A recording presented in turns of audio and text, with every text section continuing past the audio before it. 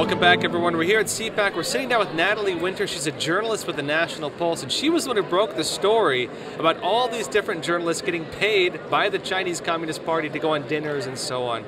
Hey, Natalie, real pleasure to have you on Crossroads. Thank you so much for having me. So, why don't we start off with this story, and then I want to talk to you a bit about the bigger picture of this, because you've actually found public officials, academics, really kind of shocking amounts of ties to the Chinese Communist Party. But let's start. Let's start off with the media. Sure. Uh, what did you find with the media working with the CCP? Yes. So at the National Pulse, we uncovered that an organization by the name of the China United States Exchange Foundation, which our very own government has identified repeatedly as working with China's United Front effort. So that specifically seeks to co-opt and neutralize any opposition to the Chinese Communist Party and really target elites in the West to push policies that advance uh, the desires of the Chinese Communist Party. And interestingly enough, aided and abetted by Western lobbying firms, specifically BLJ Worldwide, they were paying journalists, reporters, editors from basically every Western media outlet, Newsweek, even Fox, CNN, Washington Post, all these uh, outlets that love to lecture us on journalistic integrity, to take trips to China to tour not only military facilities, tour Huawei, uh, meet with Chinese Communist Party officials, and in exchange, when you read the Foreign Agent Registration Act filings, you see that they were forced to essentially provide, quote, favorable coverage and, uh, quote, disseminate positive information with regards to China. So, in other words, they were regulating how they could cover China as they went on these paid trips with these Chinese agents. Yeah, so I think you kind of saw that play out in two forms. One, they wrote stories about China, uh, providing favorable viewpoints on the growth and rise of China, but also, too, you know, years later, they, they developed a relationship with this organization by the name of CUSEF, and they've continued to make overtures to these media outlets. So there's definitely a reason to not report so so harshly on the Chinese government when you're effectively taking their money. So, what is this organization? Let's talk a bit about this organization. Sure. So, this is, I think, really kind of the primary offender, the, the most guilty actor when you talk about influence operations on American shores with, with regards to the Chinese Communist Party. So, I would say, really, every level of, of institution in America, whether it's academia, Hollywood, government, and that's both current and former officials have taken trips to China sponsored by this organization, uh, the China United States Exchange Foundation. Uh, we've really dug into it at the National Pulse. So, specifically, Harvard University, they've co authored reports with this group, which again is backed by the Chinese government. Our own government in 2018 identified it as part of the United Front effort. They've actually taken graduate students basically on annual delegations to China to tour what they, you know, a very curated view of the Chinese Communist Party. And and that's just one institution collaborating with them. You have Johns Hopkins, Georgetown, even the University of Chicago. They go on those trips. So it's I think that and two there's kind of a buried lead there when you see so many so many leaders, especially in the Democratic Party, taking a soft line to China.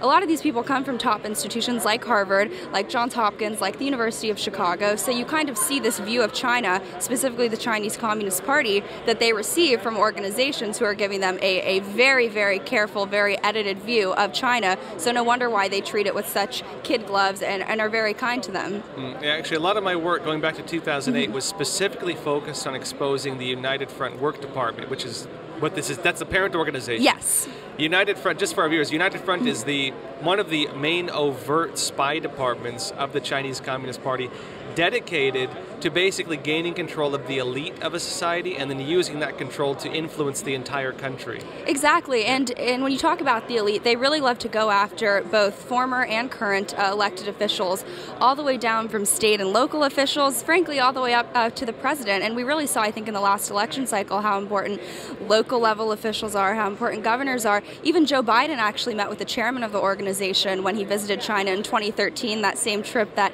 he conveniently saw his son ink a very lucrative deal with the Bank of China and other entities. Uh, but they've also hosted a ton, I would say dozens, of former members of Congress, even senators, uh, to do kind of the, the same thing that the, the, media outlets do, in that they go to China, totally paid by by CUSEF, uh, and then in, in, exchange. And again, you know, this isn't just uh, my opinion or, or conspiracy theories. These are within the Foreign Agent Registration Act filings. These are explicitly what they're hired to do, what they're supposed to do. So you know, if that's what they're writing that they're doing, I'm sure there's definitely in, in many more nefarious words. things going on. Yeah. But yeah, then, then, yeah, and like you said, that that's just what they're telling us they're doing, yes. based on what they're willing to disclose. Yes. Right? So, what are they actually writing about being their intentions for this and why they're doing it? Yeah, so in, in that Media Foreign Agent Registration Act filing, uh, they wanted to spread, quote, positive messages and then disseminate favorable coverage. Uh, and they did this in two ways. Obviously, we talked about the trips to China, but even in the United States, the president of the lobbying firm that was kind of orchestrating this effort, he hosted a lot of these journalists at his house uh, in Washington, D.C., kind of as a representative of CUSEF, and there were other officials there uh, as well on behalf of the organization. So, you know, who knows what they're talking about at dinner, who knows the deals that are being made both under the table and over the table. Uh, but, but they definitely have done a full scale charm offensive, all the way to the think tanks, to Hollywood, even, uh, for instance, the Carnegie Endowment for International Peace, which Biden's uh, selection to run the CIA, Bill Burns, he used to serve as the president of, uh, I believe he became president there in 2014 from I believe about three to four years on after that, that think tank kept collaborating with the China United States Exchange Foundation. They hosted uh, the founding chairman of the organization, and obviously they have an affiliated branch uh, with Tsinghua University. So, nonetheless, in his congressional hearings, he said that he cut ties uh, with CUSEF, but that's that's not the case. So, really, I think it goes back to what I said in the beginning: all levels of government, all the way from your rank and file uh, members of, of, the administration of Joe Biden to your state and uh, local level officials officials all the way to the top really have been somehow contacted by some conduit of the Chinese Communist Party, whether it's CUSEF or the China Trans-Pacific Foundation or some of these think tanks which kind of masquerade as really espionage uh, opportunities and operations. Now, based on this organization's mm-hmm. stated purpose, you mentioned that they talk about disseminating positive views on the mm-hmm. CCP. Have you seen examples of after these meetings the viewpoints of these journalists or you know, media organizations or think tanks or politicians change? Have you looked at the timing based on their you know, statements or coverage? Well, it's actually very interesting, and I'll give you one anecdote and then a, a kind of broader answer to that. But there was an individual who uh, attacked President Trump for critiquing Voice of America for parroting uh, Chinese Communist Party talking points with regard to COVID. So typically, I'm like, there has to be something there. There has to be a reason why, why he's attacking the president. And lo and behold, he had actually contributed uh, to the China United States Exchange Foundation's quarterly report uh, talking about somehow praising China. I forget what the specific article was, but nonetheless, there was a connection there. And frankly, in my opinion, when you interact with CUSEF, you know, you don't go back. It's kind of a radioactive relationship in that once you've been contaminated, they, they have their channels, they, they can access you. But I think you just see it more, more generally uh, with just how the media treats China, whether it's, it's, you know, in some cases it's kid gloves, right? They, they don't really attack it with, with the issue that, or rather the uh, intensity that what's going on there deserves, whether it's the genocide of the Uyghurs or how they treat their, their working class people. But I also think sometimes they just refuse to cover the stories, whether that's with regards to Hunter Biden's hard drive. Uh, so yeah, I think they just kind of refuse to talk about a lot of the issues that people like us care about. Well, we know in the past that China had five no-go topics. That you know, mm-hmm. journalists, if they covered them in China, they, they were kicked out of the country. We saw this kind of cleaning house, you know, mm-hmm. so to speak, of the CCP of journalists who would speak against the Chinese Communist Party. Uh, really, around the time of the Beijing Olympics going forward, right, 2008 mm-hmm. to 2010, roughly. You might remember, for example, that Bloomberg News, they, you know, they were writing some articles kind of critical of the CCP, and then China threatened to remove the Bloomberg terminals from China. You know, in other words, attacking a side business of mm-hmm. the Bloomberg, you know, business structure if they didn't stop covering that. And they actually came out and said, okay, we're gonna not, we're not just gonna report negative stories on China now, essentially. Mm-hmm. And you, you saw this across the board, whether you're talking about human rights abuses, democracy in Hong Kong, uh, Tibetan, sorry, uh, Taiwanese uh, independence. These are the no-go topics, and you know, we, if I'm curious now, what have you seen in terms of the main narrative structure uh-huh. of this organization through the United Front? You know, what issues do they encourage or what are they pushing and what issues do they discourage have, have you seen well it's interesting that you uh, bring up bloomberg news first obviously they've taken sponsored trips from CUSEF but we've also done reporting at the national pulse about how bloomberg in tandem with cnn and the new york times act- they actually help fund and contribute both terminals and internships to the journalism school that's hosted at Tsinghua University. Uh, they've not only contributed funds, but they've also essentially given internships to people who then go on on to work for state-run media outlets like China Daily. So really kind of training the enemy in that sense that they're they're training this very very uh, oppressive and hostile media outlet to America, uh, to American media outlets. But but with regards to the kind of stories that they either choose to cover or, or, don't cover. I think it's kind of what I said before. It's a mix of both, in which if they do decide to cover any of those topics that you just mentioned, uh, they never really take take a hard line approach. The people that they quote tend to come from think tanks, uh, institutions, universities that have been, frankly, compromised by the Chinese Communist Party. I'm inclined to think of uh, Dr. Li-Meng Yan, who put out a report about how COVID was intentionally released from, from a Chinese lab. And interestingly, the Harvard Center that attempted to do some huge debunking debunking uh, of her report, uh, they actually have hosted fellows from Chinese state-run universities for years. Obviously, Harvard has taken hundreds of millions do of dollars from from the Chinese Communist Party. So you kind of just start to see how a lot of these voices that they use to then attack voices who are critical of, of the Chinese Communist Party tend to somehow have some relation to the United Front. And on this too, do you see examples of them receiving gifts? You mentioned like dinner parties and so on. Mm -hmm. Are they mm-hmm. receiving gifts, receiving money through this network?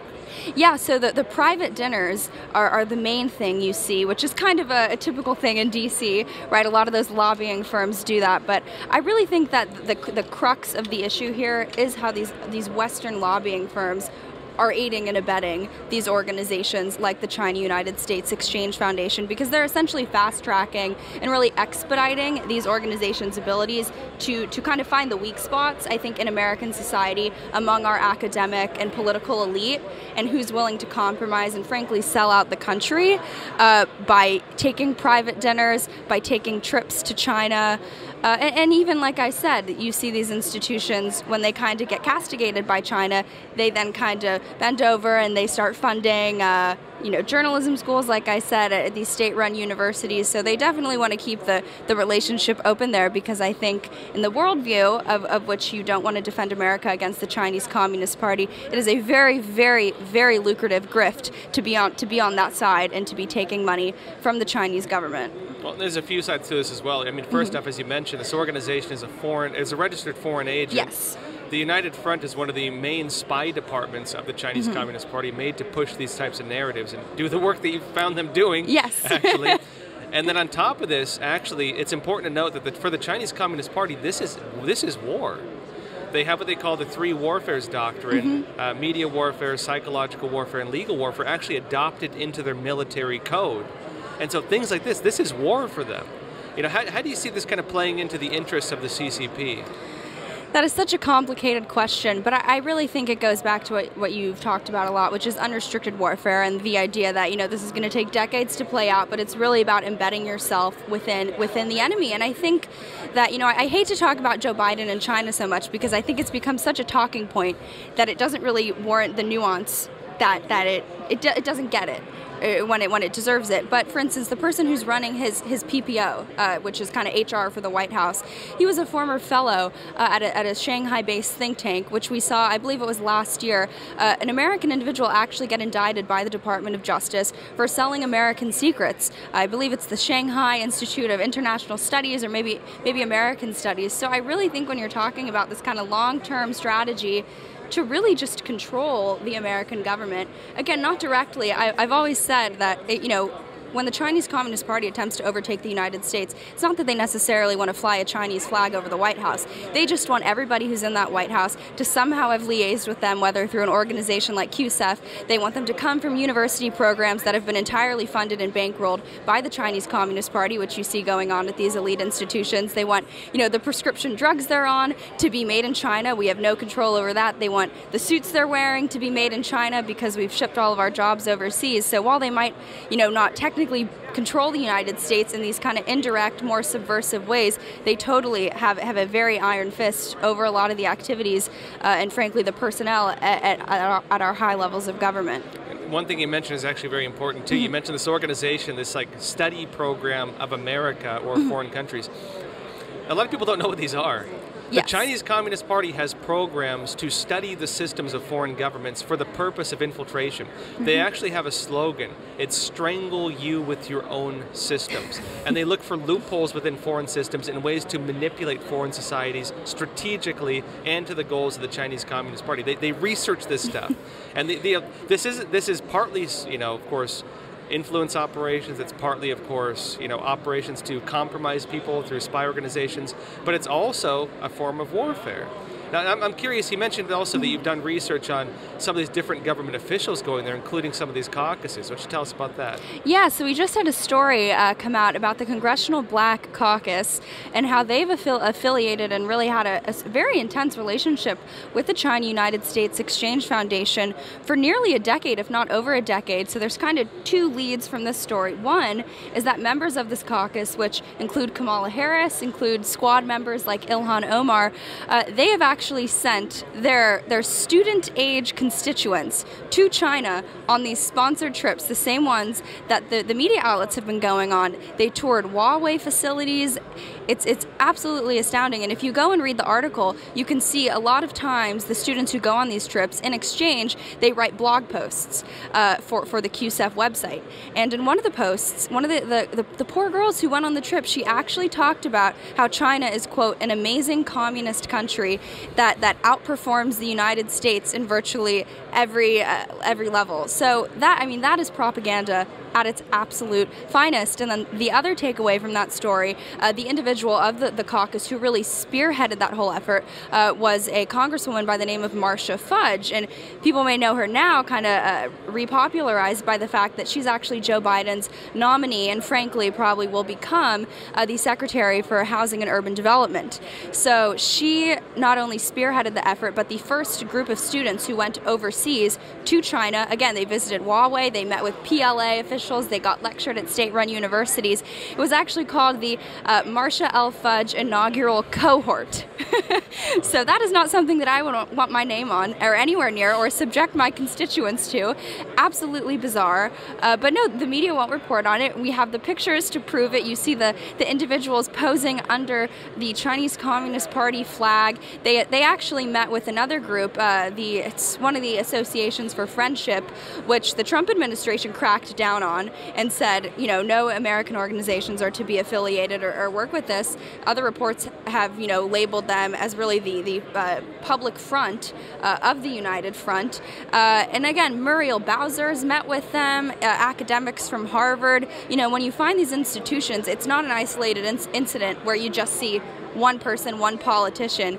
It's the whole party. It's the whole institution. It's the whole university. It's the whole fellowship program. So, as you say, they really know how to how to get in there and kind of embed themselves within. Now, just last question. You know, Mm-hmm. we're, we're seeing a lot of odd hypocrisy here. If we go back to 2016, Mm-hmm. Yes. Mm-hmm. the way that they framed the whole Trump-Russia allegations, it was suggested that Trump worked with Russia to rig the elections. Was they were saying, oh, these Trump officials had met with you know Russian oligarchs and Russian officials. You know, a lot of that was proven false over time in terms of what was actually discussed, what actually happened. But here we actually have real examples of public officials, elected officials, media organizations, think tanks, and so on, all working together in the same narratives, painting this. You know, what? How do you see this? I mean, it is it is absolutely bizarre. Every put, put it this way, I think a good kind of smaller scale story of this is like the Hunter Biden hard drive and how the media handled that. The people who went up there to discredit the hard drive, I remember we had a story up on the National Pulse. You know, one of the individuals, I believe he was a legal analyst on CNN.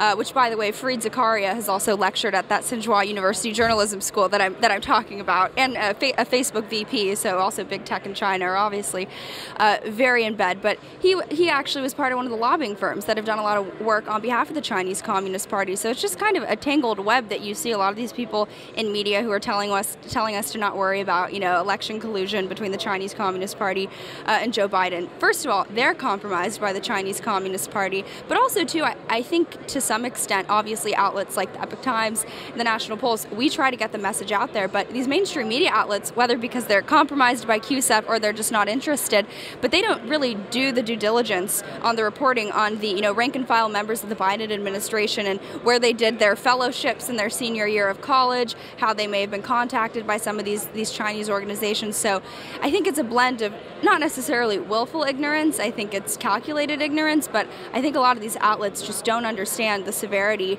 uh, and the complexity of what's going on there because the, the only kind of image of China that they've been presented with is one of being chauffeured around in very nice cars to Huawei facilities while in China, meeting and being lectured by former military uh, uh, professionals.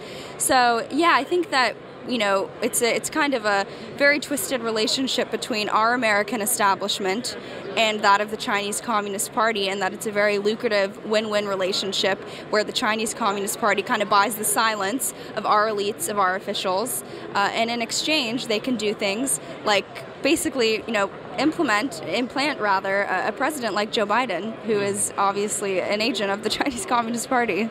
Hey, Natalie Winters, thanks again for being on Crossroads. Thank you so much.